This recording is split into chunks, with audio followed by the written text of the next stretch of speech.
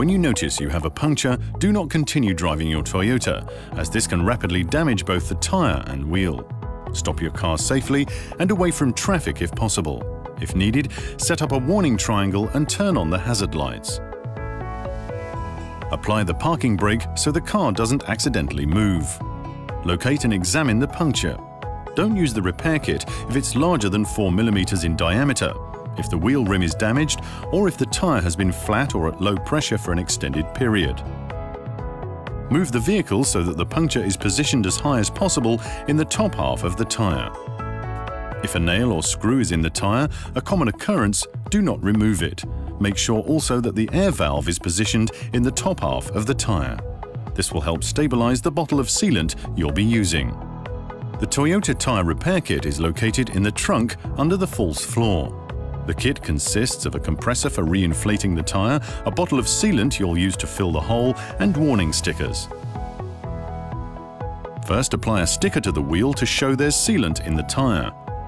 Apply another to the A pillar to remind you to change the wheel at the next opportunity. Remove the valve cap and screw the sealant bottle tightly on the valve. Then, remove the cap from the end of the sealant bottle. Unravel the hose at the back of the compressor and screw it tightly onto the sealant bottle. Unravel the wiring connected to the compressor and plug it into the auxiliary socket inside the car. For a non-hybrid vehicle, start the engine. For a hybrid vehicle, have the ready light on. Turn on the compressor. It should take no more than 10 minutes to inflate the tyre to an acceptable level.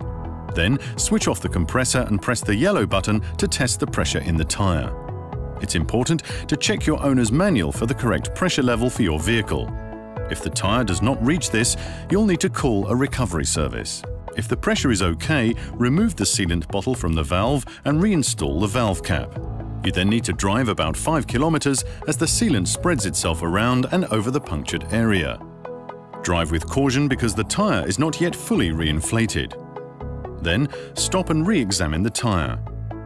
If it appears damaged, you should call a recovery service.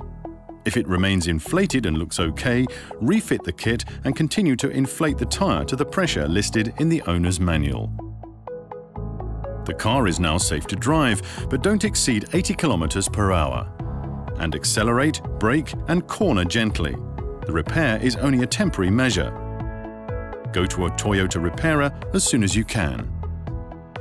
There, you'll receive expert assistance and the best possible care for your Toyota, ensuring that your driving experience remains safe and pleasurable.